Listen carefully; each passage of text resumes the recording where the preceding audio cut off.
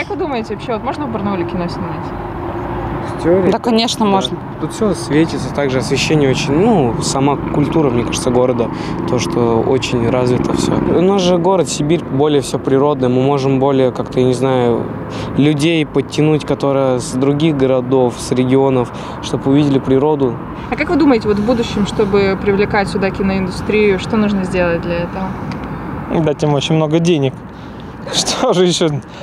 Было бы желание. Нет, мест хватает. Все упирается в финансовые и практические вопросы, я думаю. И в рекламе города, может быть. Да, пожалуй, потому что в основном Барнаул это где? Это Китай же вроде, да? Там? И Алтайский край, и Горный Алтай это как-то, наверное, для многих одно единое, а на самом деле Алтайский край это совсем другое, со своими красотами другими. Вот поэтому надо рекламировать просто город больше на Россию. И тогда к нам будут приезжать и снимать фильмы. Я думаю, наш город требуется больше каких-то исторических памятников, чтобы эти моменты появлялись в фильме. Возможно, какие-то открывались новые локации, которые могут использоваться для фильмов. устраивать фестивали побольше, пиариться, больше ничего. И э, адресно э, как бы отправлять э, на обучение специалистов за, за государев счет.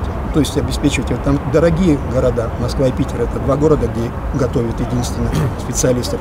Наверное, надо об этом позаботиться, о том, чтобы они там жили нормально, не, не чувствовали себя и закончили эти вузы.